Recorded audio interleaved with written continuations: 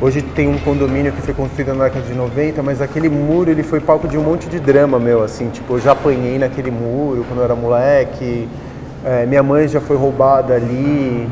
Eu me lembro que uma vez de adolescente eu pichei aquela, é, aquele muro. Então, aquele muro na Higienópolis com a Maria Antônia, por muito tempo eu pertenceu à minha cartografia psíquica, assim, eu sempre me remonto, tenho uma lembrança dele quando eu passo por ali correndo, eu meio que toco nele para para me lembrar das lembranças que eu já passei por ali. É engraçado porque é, ele tem uma força que é meio como o magnetismo, sabe?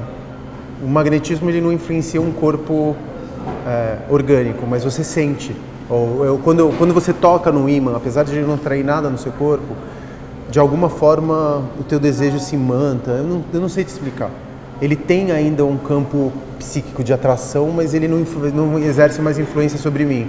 É meio como pegar um ímã poderoso. Eu não vou, nada vai ser atraído por ele, mas eu sei que aquilo é um ímã, então psiquicamente algo se configura no meu cérebro para interpretar aquilo como um pedaço de ímã e não um pedaço de ferro qualquer, entendeu?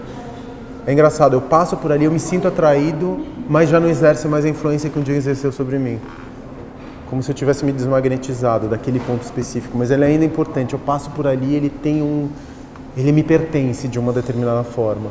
É, ele virou um muro, né? Virou um muro. Antigamente era um casarão e hoje em dia é um condomínio. O muro é o mesmo.